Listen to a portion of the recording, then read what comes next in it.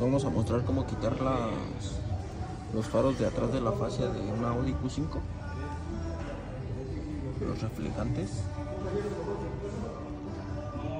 Para acceder al, al tornillo tenemos que quitar el taponcito que tiene aquí. Vamos a ayudarnos de un desarmador plano para botar la, la tapita.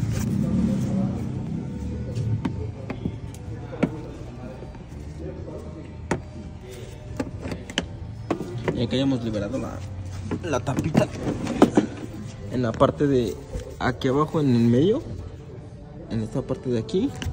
Trae el espacio para que entre el, de, el desarmador con una punta torque es una T, T de, de un cuarto. Es esta es una torque dado de un cuarto y así tienen el desarmador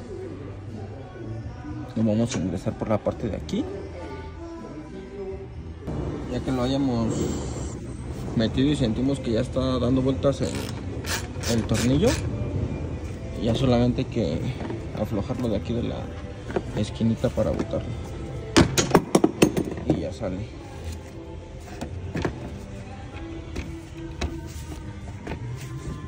Ya nomás desconectamos de aquí de la esquina hacemos presión hacia atrás el seguro botamos el seguro para desconectarlo y salga libre